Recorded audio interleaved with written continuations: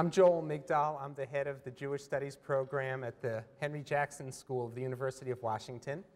I'd like to welcome you all here tonight. It's wonderful to see such a wonderful crowd here for these lectures. We're going to, we're honored tonight to start by having the president of the University of Washington, President Richard McCormick, say a few words.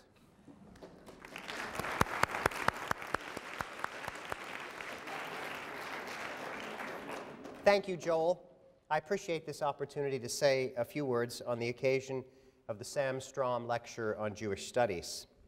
For nearly 30 years, Sam and Althea Stroum set a philanthropic example at the University of Washington that few people could match, and their interests were as wide ranging as their contributions were generous. In fact, there's hardly a program on our campus that has not benefited from their support and their leadership. They gave to medicine, science and engineering, psychiatry, the UW libraries, athletics, art, public affairs, and of course to Jewish studies. 25 years ago, inspired by their desire to create an interdisciplinary Jewish studies program that was both nationally recognized and locally prominent, Sam and Althea inaugurated the lecture series that bears their names. With the inauguration of the lecture series and the Stroum's help in funding the first faculty positions in Jewish studies, they effectively established the Jewish Studies program at the University of Washington. The program expanded in 1984 when the Stroums endowed a chair in Jewish studies housed in the Jackson School for International Studies. Today, this chair, one of the first endowed chairs established at the University of Washington, is still only one of three chairs in the entire College of Arts and Sciences. It attracts some of the most distinguished scholars in the field. In time, Sam and Althea honored the memory of her late sister, Hazel Cole, with the creation of an endowed fellowship dedicated to the support of graduate students and postdoctoral fellows engaged in Jewish studies. The record of the accomplishments of these individuals has been witness to the intellectual prominence that the fellowship helped recognize and nourish. Tonight, we celebrate Sam and Althea's vision that led to the establishment of the Stroum Lecture Series. This series continues to attract to this campus, as, for example, this evening, some of the most famous names in the world of Jewish scholarship, and it often culminates in the publication of prize winning books in the field of Jewish studies. More importantly, the series fulfills Sam and Althea's goal of engaging the broader community with annual cultural events of singular interest. In fact, Sam foresaw the possibilities of the new cyber age and underwrote the cost of having the lectures taped and transmitted via satellite from coast to coast. Today, the program involves students, junior and senior scholars, and the Jewish community worldwide in a great network of support and activities that enhance knowledge of Jewish culture.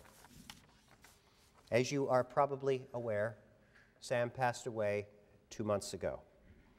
Although he is gone from our midst, his influence most certainly is not. What Sam did for this university and the greater community will go on for a very, very long time. It gives me great pleasure to acknowledge the enormous contributions made by Sam and Althea Stroum. And equally and equally,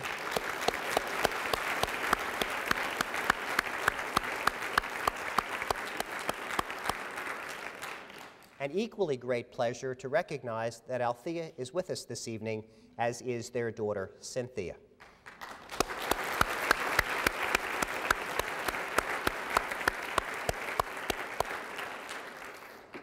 Althea and Cynthia, thank you for being here this evening you have enjoyed, you have made possible these lectures over the years. And it just gives us enormous pleasure to be in your midst and with you tonight. It is largely due to their efforts that we have a program of excellence in Jewish studies at the University of Washington today. It is an honor to be with you too and to join in and build upon the legacy they established, they created, they nurtured, they inspired on in the spirit of those inspirations by Althea and Sam and Cynthia, I welcome you to this lecture and uh, expect that you will enjoy it with me. Thank you very much.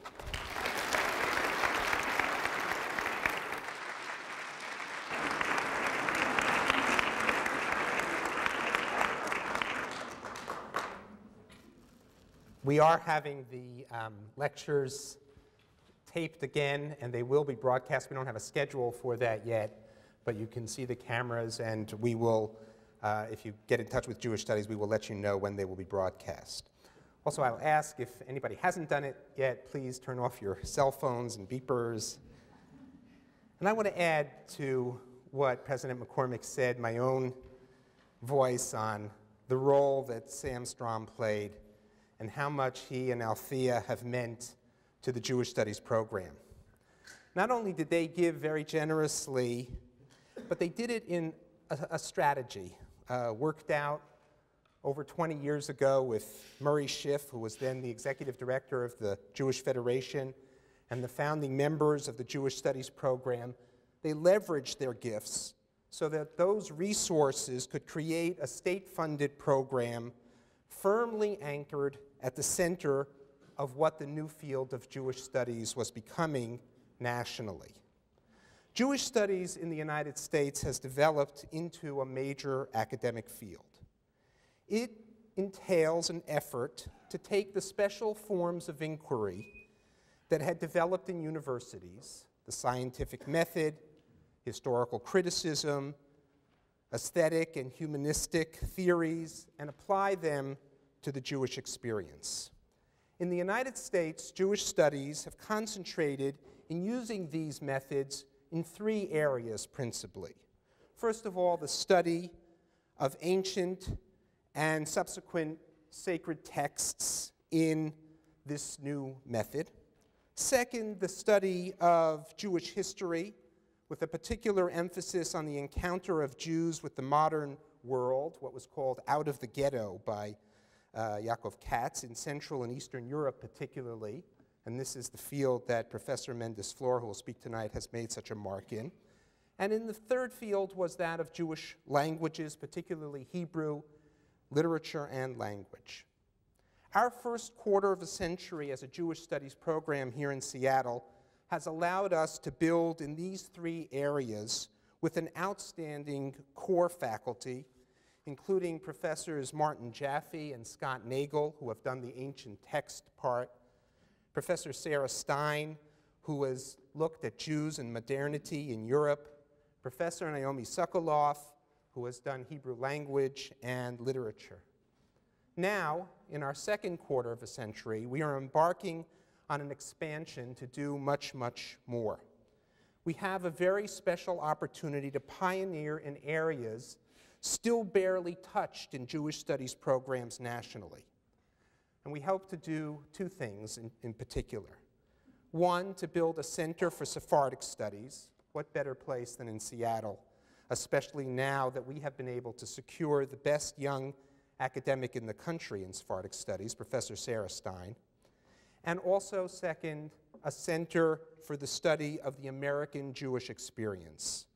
We already have one of the biggest concentrations of talent in this area, including Professors Joe Butwin, who many of you know, Professor Kathy Friedman, who just joined the program, Professor Susan Glenn, Professor Naomi, Sokoloff, Dr. Julia Eulenberg, and Professor Paul Bursteins. We have a tremendous concentration of talent in studying the American Jewish experience, and there's not a single center for the study of the American Jewish experience in North America. So I'm very excited about what is happening, not only for the University of Washington and its students, but for the Seattle Jewish community as a whole. Through the Jewish study programs, we have a very special opportunity to make Seattle a center of Jewish research, teaching, and programs in these new areas. The Stroum lectures exemplify the kind of programs we hope to bring to the Seattle community, as does our lecturer this year, Professor Paul Mendes Flohr. Professor Mendes Flohr received his PhD nearly 30 years ago from Brandeis in modern Jewish intellectual history and Jewish philosophy and religious thought, and since then has been a leading figure at the Hebrew University of Jerusalem. He has interspersed appointments as well at the University of Chicago, where he has a regular appointment now, in addition to that at the Hebrew University, at Harvard, at Brandeis, at the University of Virginia. His resume lists 36 books and 177 articles. I feel like such a slacker. Suffice it to say that he has been a major force in the interpretation of Jewish thought of the major Jewish thinkers of the 20th century, including Martin Buber, Franz Rosenzweig, and Gershom Scholem. The topics for the three lectures are the topic for the three lectures is post traditional Jewish identities. Tonight's lecture is entitled Cultural Disjunctions and Modern Jewish Identities. I give you Professor Mendes Flohr.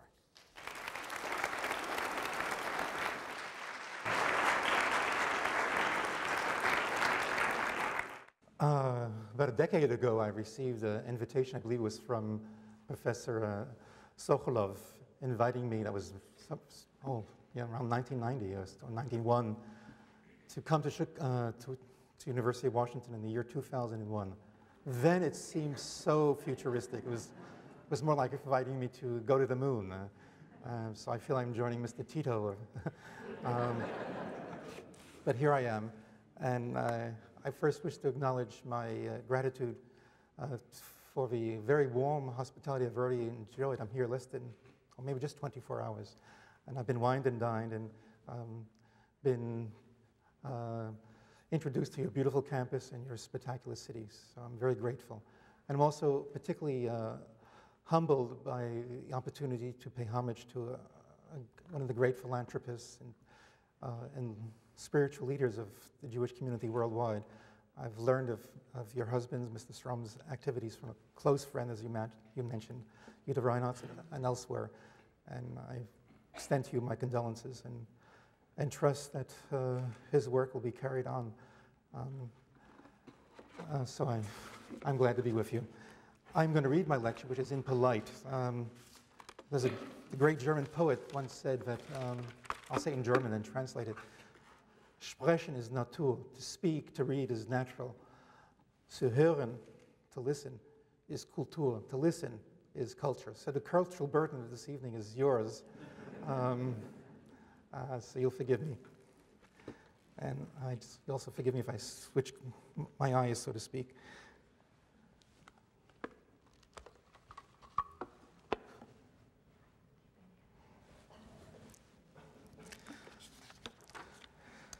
Uh, for this evening's lecture, I've selected two citations to serve as mottos, epigrams, if you wish.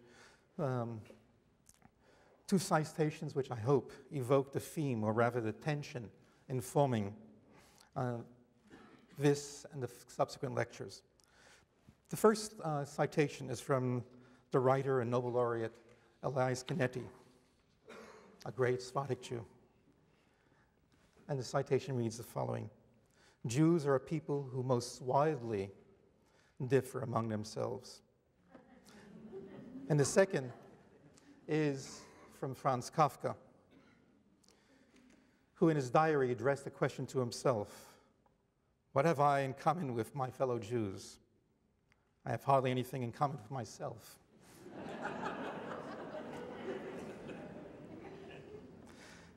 Contemporary Jews variously configurate their Jewish identity. Since the Enlightenment and Emancipation, Jewish identity is no longer exclusively defined by loyalty to the Torah and its commandments.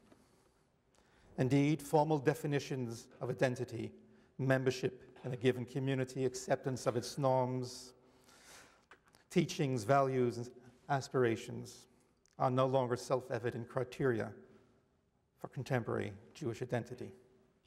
The ambiguities of Jewish identity in the modern period are, of course, well documented, indicatively often in fiction and in cinema. In this lecture, I will seek both to compound and celebrate the ambiguity by noting that as, modern, as, as Martin's Jews are continuously reconfiguring their identity, Indeed, the Jews of modernity are members of numerous communities residential, vocational, cultural, professional, political, recreational, which are not necessarily conterminous, overlapping, and identical. Moreover, the boundaries of these communities are often fluid. The upshot is that one is no longer exclusively Jewish. For one who wishes to grant his or her Jewish identity salience, prominence, without forfeiting a dedicated membership in other communities, the challenge is to define a Jewish identity that is engaging yet not exclusive. In these lectures, I shall seek to explore the possibilities of a passionate yet non exclusive Jewish identity. A preoccupation with the meaning of their existence as Jews is not unique to the Jews of modernity. Ever since the 75 year old Chaldean Abraham, the son of Terah, received the divine calling and promise of nationhood, as was recorded in the book of Genesis, Jews have reflected on their identity. Buffeted by agonizing decisions and tests of faith, the founding patriarch of the Hebrew nation was recurrently obliged to question the meaning of his life before God. And so, it was, and so it was for his children and his children's children. As the 20th century German Jewish philosopher Franz Rosenzweig observed, and I quote, with other nations, the birth of self consciousness is the beginning of the end. With us Jews, it is or was the beginning. End of quote. The problem of identity, Rosenzweig suggested, generally marks for a people the loss of innocence and thus the weakening, if not ultimate dissolution, of its primordial bonds. For Israel, the Jewish people, it is different. However, from its inception as a people, or rather a people faith, Israel has thematized its own existence. For as the patriarch Abraham already knew, the nation he sired was not simply the anthropological means as the philosopher Herman Cohen once put it, to promote the faith in the one God. Israel's very existence and history were flush with religious meaning. That meaning is suffused in the very substance and rhythms of Israel's temporal life. 19th century Jewish German scholars coined the term Heilsgeschichte, salvational history, to capture this fact. Traditional Jewry was wont was prone to refer to the image of Abraham's grandson, Jacob, Yaakov, who was the first to bear the name Israel. Again, as recorded in the book of Genesis. A name which God bestowed upon him and his descendants after his mysterious struggle with the angel. Jacob emerged from the episode blessed with a new name, but also, as it states in the Bible, limping on his hip as a result of an injury acquired in his bout with the angel. The pain and blessing attendant to the struggle are embodied in the name Israel, thus marking Jewish self understanding throughout the ages. Recurrently tossed between the poles of injury and blessing, the Jews tended to view the trials and tribulations of their journey through mundane time as raising the question of theodicy that is, the justification and meaning of God's rule as reflected in their history. As a mirror of the divine presence, Jewish existence thus became the focus of sustained metaphysical meditation and scrutiny. Yet, as the Hebrew publicist and Zionist Ahad uh, Ha'am noted prior to, prior to their passage into the modern world, it never occurred to the Jews to ask why they were Jews and I quote again, such questions would not have been considered, excuse me, such questions would not have only been considered blasphemy, but would have been seen as the highest level of stupidity. End of quote. Before they crossed the threshold into the realm of secular sensibility, the Jews did not question why they were Jews. Despite their preoccupation with the meaning of their collective existence and troubled history, their identity was clear and unambiguous. The parameters of traditional Jew- Jewish identity was summarized by Ruth, the Moabite, when upon her conversion to the faith of Israel, she declared, I'm quoting from the book of Ruth, of course, Your people is my people, Your God is my God, and where you die, I shall die. Being a Jew by birth or by choice entails membership in a people, a religion, and in a Schicksalsgemeinschaft, as one says in German, a community of a shared fate. The pivotal element in this statement of allegiance is the faith in God of Israel. Remove it, the faith in God of Israel, and the other elements of traditional Jewish identity begin to totter. For as an eminent scholar of comparative religion has observed, underscoring, underscoring what I've already noted, I quote, to describe Judaism as, a, as the religion of the Jewish people is slightly misrepresenting the situation. Judaism is the religious dimension of the Jewish people. Israel is a people born of and with religion. Accordingly, it is the weakening, if not the utter eclipse, of religion that creates the problem of Jewish identity. Sundered from its religious dimension, the peoplehood and the shared destiny of the Jews are beset by ambiguity, a situation which is compounded by the fact that Jews of modernity, at least those who dwell in the diaspora, are integrated in the social and political fabric of the various nations among whom they dwell. Indicatively, Jewish self reflection shifts from theology to sociology and even psychology. Whereas traditional Jews, excuse me, I, I left Israel when it was, I just left uh, 24 hours ago. We had a Hamsin, which is a desert heat, so I'm still suffering. So, l'chaim.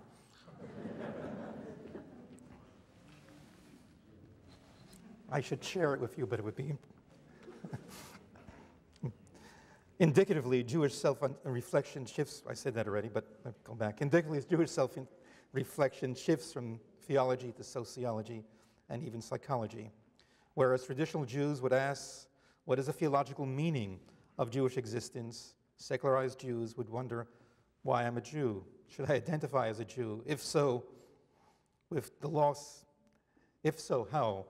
With the loss of faith and a commitment to fulfill the precepts, the mitzvot, of the Torah, what is the content of my identity as a Jew? To be sure, Jewish theologians have not been unemployed, rendered irrelevant by the modern experience. In fact, since the Enlightenment, they have been a rather active breed. Their task, however, is decidedly different than that of their predecessors. Donning the robes of theologians, philosophers, and rabbis have sought to restore Israel's religious faith to revalorize it so that the edifice of Jewish identity and commitment, and commitment will endure. These modern rabbis and religious philosophers have had to share the arena of Jewish self reflection with a battery of secular intellectuals who have offered new paradigms of Jewish identity. Acknowledging the rupture in faith and religious practice brought on by, by secularization, they have sought to construct a Jewish identity without a belief in God. Indeed, much of modern Jewish thought has been devoted to devising strategies to foster a Jewish identity simply as membership in the Jewish people and as a Schicksalsgemeinschaft, community of shared fate or destiny. The two, membership and the sense of a shared destiny, are not synonymous, however.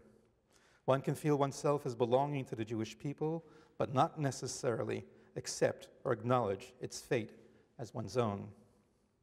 The former, sense of membership, may be characterized as a sense of ethnic identification, the latter as ideological affiliation. Competing secular ideologies, Zionism, Buddhism. When I practiced this before coming, I, I said Buddhism, which might be true too. competing secular ideologies, Zionism, Buddhism, if you, diaspora nationalism, Yiddishism, have profit various national and cultural conceptions of Jewish identity. Others have appealed to what Theodor Herzl, the founder of Zionism, political Zionism, called negative pride. In the face of anti Semitism, otherwise assimilated Jews should defiantly affirm their Jewish identity, a position that was ironically called in German Trotzjudentum, a Judaism out of, spa- out of spite. The French philosopher, non Jew, of course, Jean Paul Sartre, had such a position in mind when he stated that it is the anti Semites who define the Jew. In response to the Holocaust, the philosopher Emil Fackenheim propounded a theolog- theolo- theologized Trotzjudentum, employing theological language in, and its apodictic inflections. He speaks of the revelatory voice of Auschwitz. This voice commands contemporary Jews not to grant Hitler a posthumous victory by assimilating and undermining Judaism by critical, corrosive questions. Lest Jews help Hitler after his death and the collapse of the Third Reich achieve the objective of not only exterminating their people, but also their religion and culture. They, the post Holocaust Jews, are to desist from all actions that might endanger the continued survival of Jewry as a distinctive people and religious culture. Fackenheim also regards the commanding voice of Auschwitz as appertaining to the policies and politics of the State of Israel, especially as pursued by those leaders most jealously concerned with promoting the Jewish state's security. Namely, and he is rather explicit, the right wing parties. One should, one, what, should one criticize the policy of a Likud government with respect to the Palestinians in the Arab world? In Fackenheim's judgment, one perforce endangers the state and thus possibly contributing to the work begun by Hitler.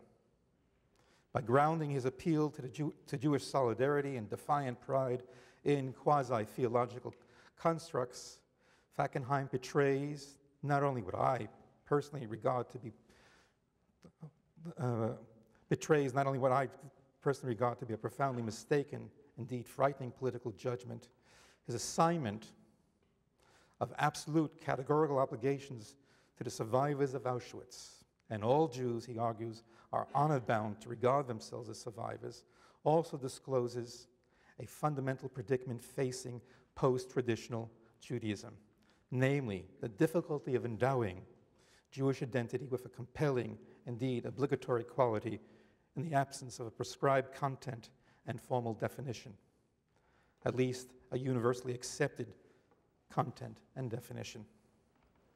The difficulty of determining the content and definition of a post traditional Jewish identity is particularly manifest in the State of Israel. Having the legal obligation of providing a juridical definition of who is a Jew, the state encounters an inevitable antinomy, irresolvable contradiction. Constitutionally bound to correlate Jewish identity with citizenship, the State of Israel must, must stipulate the formal criteria according, criteria according to which the law would recognize one, that is, an immigrant, as a Jew and ergo, therefore, entitled to citizenship. Yet, as a secular institution, the state must also acknowledge the, the diverse and divergent conceptions of Jewish identity that distinguish contemporary Jewish life. It is thus not surprising that since its founding, the State of Israel has recurrently failed to provide a satisfactory legal definition of who is a Jew. Although the Orthodox elements who dominate the religious discourse of the State of Israel advocate traditional Jewish definitions of who is a Jew based on halakha, or Talmudic law, these inevitably prove problematic because they fail to accommodate both the contemporary social reality of the Jewish people as a community whose membership, whose members are constituted by individuals whose mothers may not be Jewish, the primordial criterion, of course, of Jewishness according to the halakha, or, have, or who have chosen to join the house of Israel through the auspices of reform or conservative Judaism. If one of the founding purposes of the State of Israel, stipulate, stipulated by the law of return, is to provide refuge for anyone who is persecuted as a Jew, then, then clearly the halachic definition would exclude the hundreds of thousands of persons of partial Jewish descent who suffered as Jews under the Nuremberg laws, or the hundreds of thousands of immigrants from the former Soviet Union who halakhically are not strictly Jewish.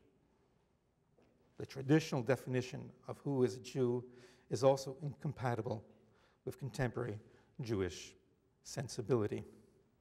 The inadequacy of the traditional definitions of Jewish identity is vividly highlighted by the Brother Daniel case and the Shalit case, adjudicated by the Israeli Supreme Court in 1966 and 1970, respectively. A Jew by birth and a former partisan who fought in the forests of Poland with his fellow Jews against the Nazis, Brother Daniel converted to Christianity during the Holocaust. As a Carmelite monk, he sought Israeli citizenship under the law of return. His petition was approved by the Halacha, because he was the son, of, of course, of a Jewish mother, which still recognized him as a Jew despite his apostasy. The Supreme Court, however, ruled against Brother Daniel and, in effect, against the Halacha, basing its decision on considerations of secular and national Jewish sensibilities, arguing that by converting to Christianity, he, Brother Daniel, had removed himself from, and I quote from the Supreme Court decision, the history and destiny of the Jewish community. The Shalit case involved an intermarried couple, an Israeli Jew who had a heroic battle record in defense of the country, and his Gentile wife, who, despite the fact that they declared themselves non believers, sought to have their children registered as Jews by nationality.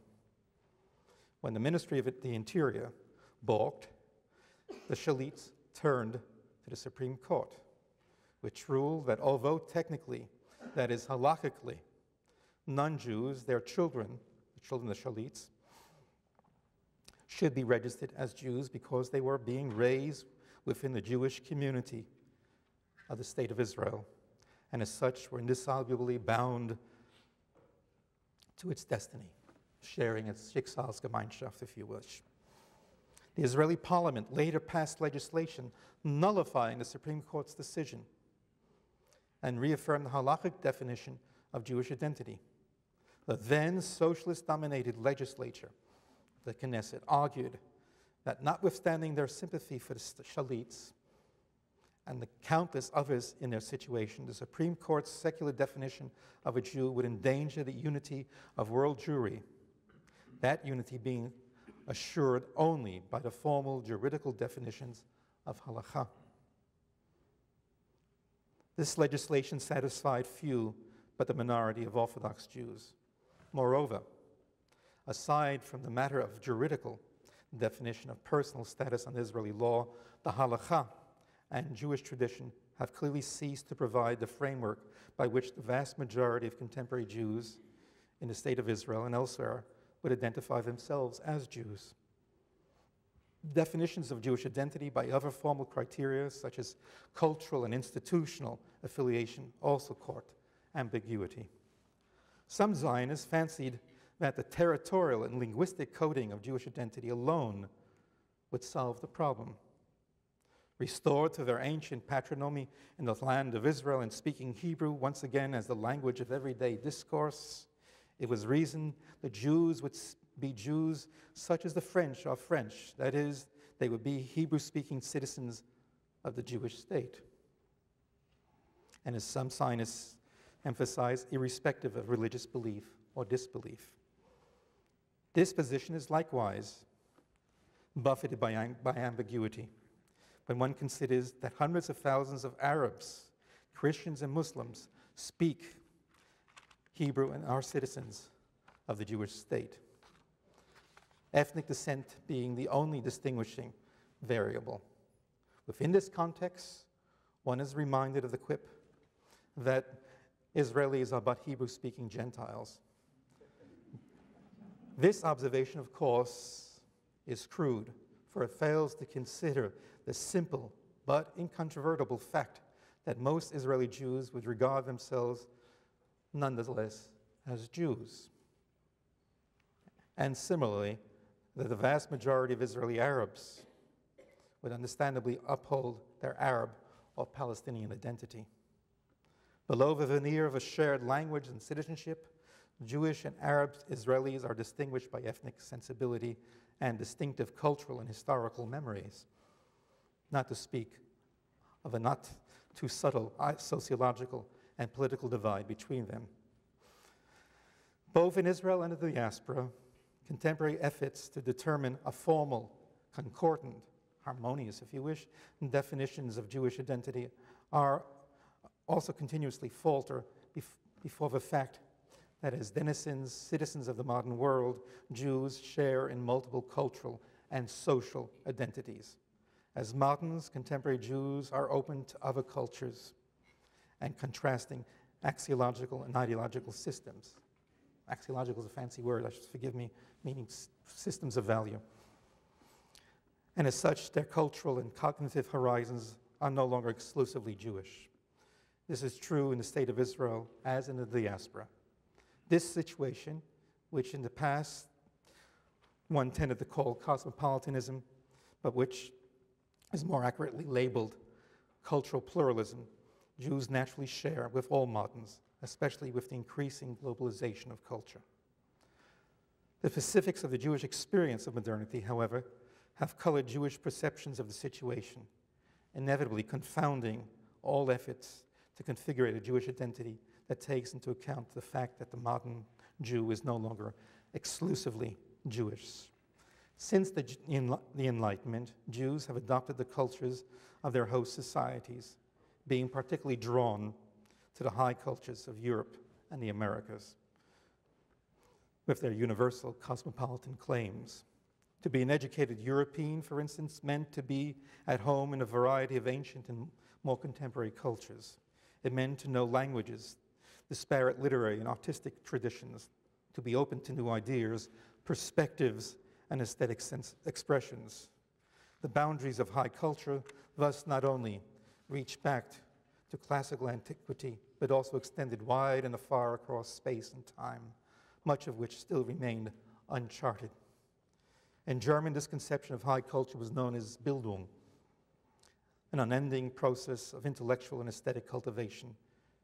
And the emancipated Jews of Central and Western Europe were among the most devoted adherents of this ethic of Bildung.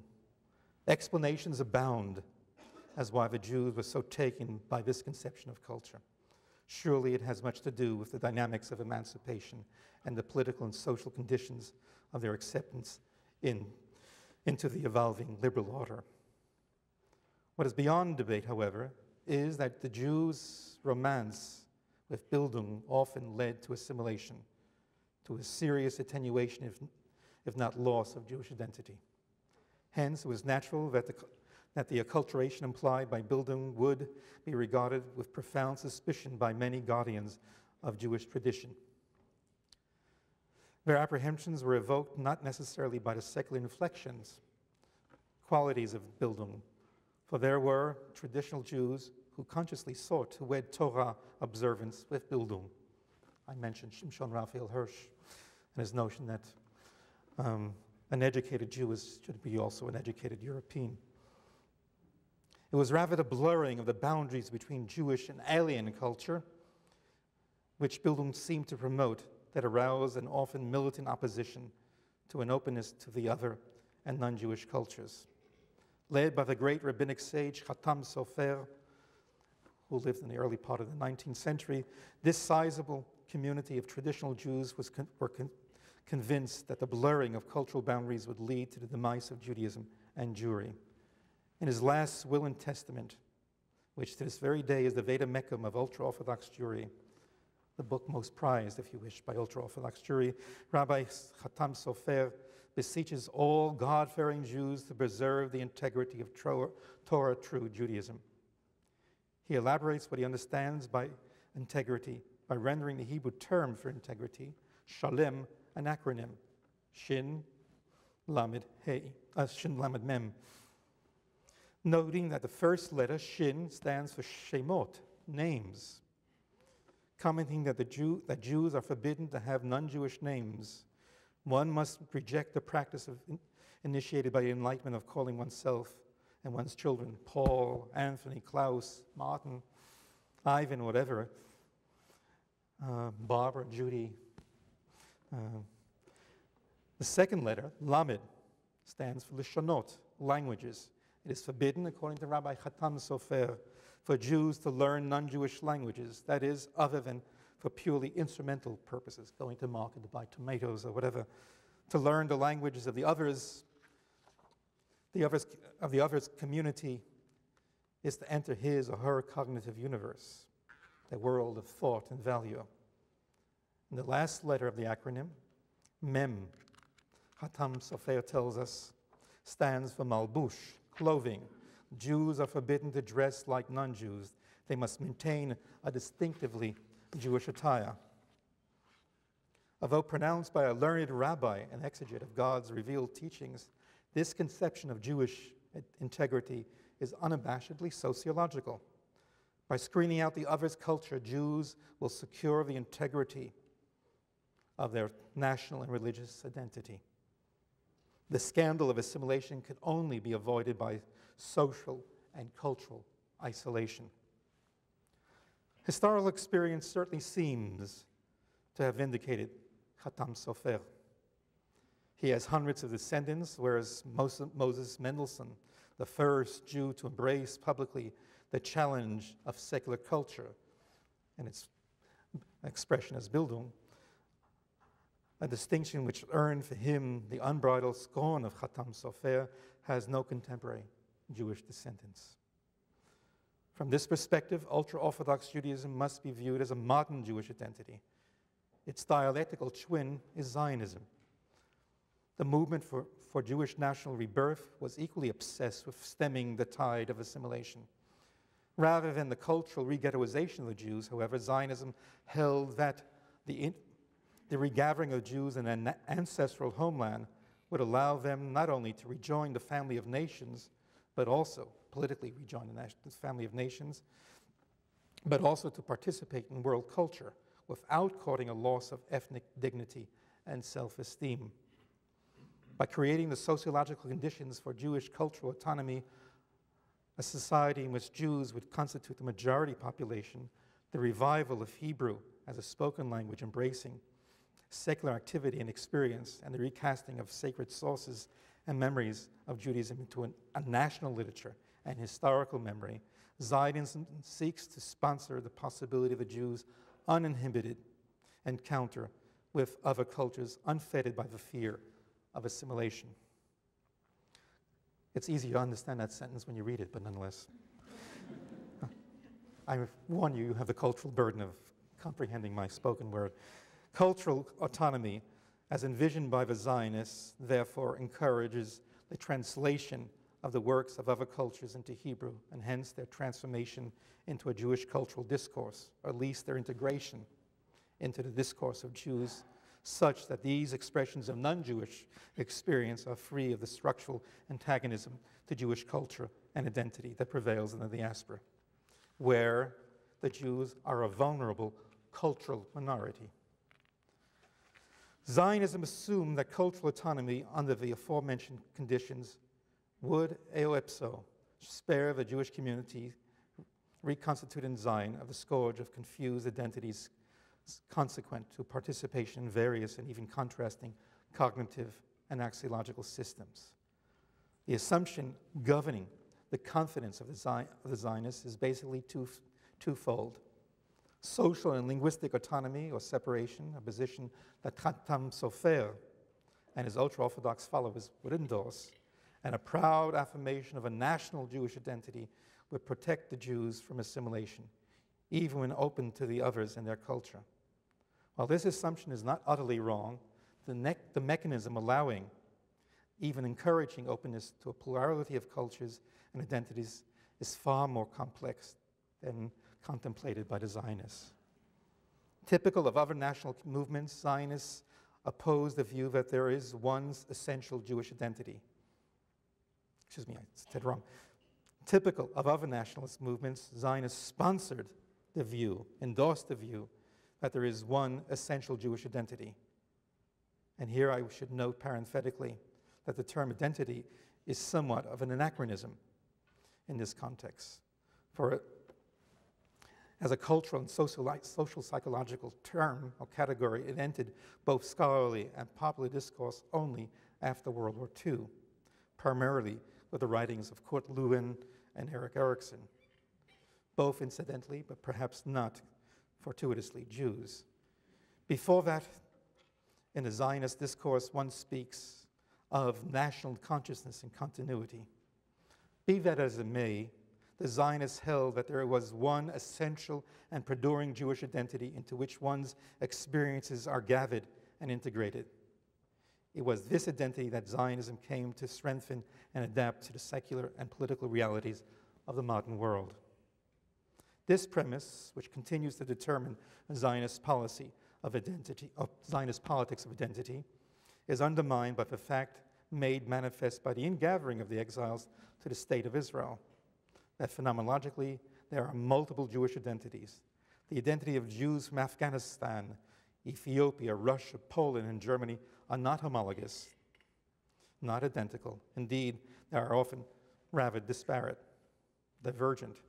Furthermore, contrary to the essentialist view of Jewish identity, the various identities one may acquire need not be continuous. In fact, one's involving identities as well as experiences and social and ideological affiliations, may be radically discontinuous. This fact often engendered a certain anxiety among Jews who feel that their Jewishness should retain salience, lest it be swallowed up in the whirl of competing identities. Some 90 years ago, the philosopher and social critic Gustav Landauer published an essay on these heretical thoughts, in which he boldly challenged his fellow Jews who felt that in order to overcome these perplexities, it would be the best to retreat into a more exclusively Jewish cultural universe. Defending his simultaneous attachment to Judaism and other cultures, he asserted, and I quote, I never felt the need to simplify myself or to create an artificial unity by way of denial. I accept my cultural complexity and hope to be an even more multifarious unity than I am now aware of being. End of quote. The late Nobel laureate Elias Canetti, who we quoted in the beginning, echoed similar sentiments when, during the dark years of the Holocaust, he protested Should I harden myself against the Russians because there are Jews, against the Chinese because they are far away, against the Germans because they are possessed by the devil. Can't I still belong to all of them as before and nevertheless be a Jew? As moderns, Jews have adopted, as the American Jewish Indologist Wendy Doniger of the University of Chicago has noted in an autobiographical essay, Other People's Myths. As she poignantly, rela- poignantly relates, her own journey into the spiritual world of the Indian continent is not to be construed as a mere act of scholarly empathy, but rather reflects a personal quest to expand her cultural sensibilities and humanity. But as Doniger acknowledges, her eager embrace of a multicultural ethic was at the expense of her own primordial Jewish culture, which was re- relegated to ethnic and culinary, culinary affections, consciously molded conscious, consciously modulated lest they becloud her larger commitments. The problematics of living with evolving and ever shifting identities, especially of post traditional Jews, are the subject of Woody Allen's cinematographic and satire Zelig, which appeared in 1983, pronounced with a Yiddish accent, Zelig. The hero of the film, Zelig, portrayed by Allen himself, is so adept at identifying with others that he merely need behold the, another, and he instantaneously takes on his or her physiognomy, tonality of voice, and body language. Zelig thus becomes a black, a Frenchman, an Irishman, an Italian, a Native American, a Chinese man, and even a Nazi. The cultural uh, uh, chameleon, or as some have punned, a schmelielian, Zelig has access to all cultures, but in effect has none. An allegory on acculturation, Allen Zelig points to the predicament of syncretism, the multiplication, the multiplication of cultural identities leads to their amalgamation and confounding dilution. Here is the possible significance of Allen's counterhero, tzedek, which in Yiddish, which is Yiddish for blessed, an appellation granted the deceased, which suggests that the film is Allen's eulogy for the, Jewish, the Jews of modernity, who, in their mad rush to, to be part of other people's cultures, have lost a firm grounding in their own culture and identity, thus bringing about their spiritual death. Parenthetically, in fact, Allen apparently does not, apparently affect the death of the, the spiritual death of the Jews, a fact that Allen apparently does not mourn. Allen's reflections, on, of course, extend beyond the specific plight of the modern Jew. They bear upon the, the inescapable plural character of contemporary identity in general, the often contradictory and contri- contrafugal, oh, excuse me, centrifugal thrust of these identities clearly threatens those who wish to secure the integrity of a particular cultural identity. It also troubles those who feel a healthy ego identity should be cohesive, harmonious, and integrative. Postmodern critics of this conception of culture, of cultural and personal identity, argue that it is not only out of kilter with the temper of the times, but is fundamentally flawed for identities are always multi layered and differentiated. Accordingly, as one critic recently put it, we need a concept of identity that tolerates, and I quote, not only greater complexity, but confusion, chaos, and even nonsense. The confusion and interminable chaos born by the multiplication of often contradictory identities has a moral fundament. The modern ethos calls upon one to extend one's imaginative and sympathetic faculties to embrace the other and to integrate the other into one's own soul, indeed, to regard the other as a treasured source of self knowledge. The 19th century American poet Walt uh, Whitman gave a lyrical evocation of this ethos in his poem, Song of Myself. And I quote from, from this, this passage from this long poet, poem I am of old and young of the foolish as much of the wise, regardless of others and regardful of others, maternal as well as paternal, a child as well as a man. Through me, many long, dumb voices, voices of interminable generations of slaves, voices of prostitutes and of deformed persons, voices of the, of the disease and of the despairing, of the thieves and dwarfs, ring do I contradict myself? Very well, then, I contradict myself. I am large. I contain multitudes. From the Jewish perspective, and that of any particularistic culture, the epistemological and ethical challenge of plural identities would be to determine the mechanism that allows us to honor our bewildering and often chaotic, some would say, delectably chaotic assemblage of ever multiplying and subtracting identities while providing a measure of Jewish or cultural specific continuity. In my next lecture, I will speak, I will seek, excuse me, to elucidate such a mechanism. Thank you.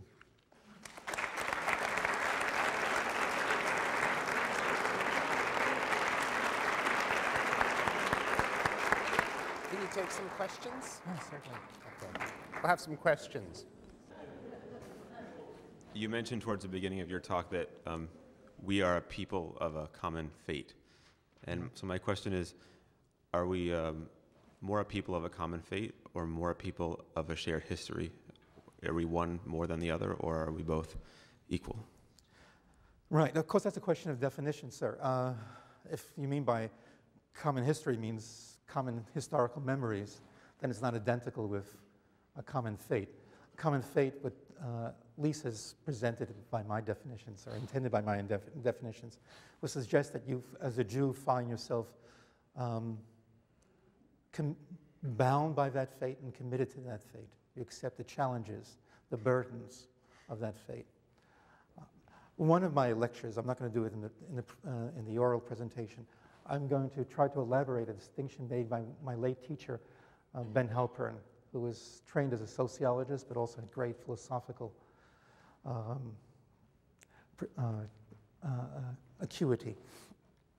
He made a distinction between two types of communities, one called mythic and ideological. Mythic means you have certain memories, sensibilities, and the like.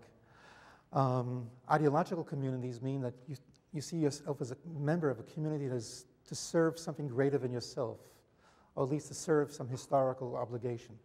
Um, and his argument was that ultimately the Jews are not simply a mythic community, which can be as understood as shared sentiment and uh, appetites or culinary or gastronomical interests and such, but we're also an ideological community. And that is covered by the term of community of, of destiny. So it's not quite, quite the same as saying you have his shared historical memories or a shared past, but we also have a shared future uh, and a commitment towards that future. Uh, Please. Since the scientific quest is, is an essential, a shared one, one that uh, goes on between all cultures seeking a certain type of truth, how does Jewish, a modern Jewish identity stand against that? How does it, uh, it, it seems to me so many Jews are uh, prominent in science, and yet it, it seems to go, to me, against maintaining a sort of a separateness because they're out in the world and they're testing their ideas against all other ideas in the world. That's precisely the question or, uh, or problematic I sought to highlight. Um, that we are part of a general community. We're sitting in a university setting. A university, of course, the word university is derived from the term universal. Uh, we are part of a, a universal uh, uh, project. Uh, we lay claim to all cultures as being part of our own experience. All vistas of knowledge are, um, are ours. At least we should uh, honor those vistas. Um, in that sense, um, the university transcends particularity.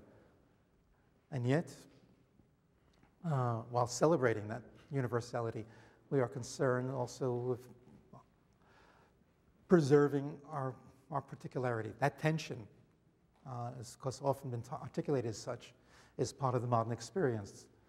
University and particularity, not only for Jews, but for many uh, uh, specific cultural communities. I understand this community of Seattle is very much concerned with trying to maintain its multicultural fabric, uh, to respect it, to deepen it, while not vitiating or undermining uh, the cohesiveness of the general community. Analogously, that's the question that we're, we're facing. Um, on the cultural level, of course, it means that we are part of, we recognize ourselves to be part of a universal project. Um, we're not only longer Jews, we're not only, we are also Germans, Palestinians. We're not only, me, only men, we're also women. We're not only heterosexual, we're also homosexual. We're not only wealthy and well-to-do, we're also poor. Um, we're all aware of that. Um, that's part of our soul. Our soul is now multi-layered, and we seek to celebrate that. Suggestions that we theologically that is even warranted by the tradition uh, that we can discuss in, uh, in the third lecture. Um,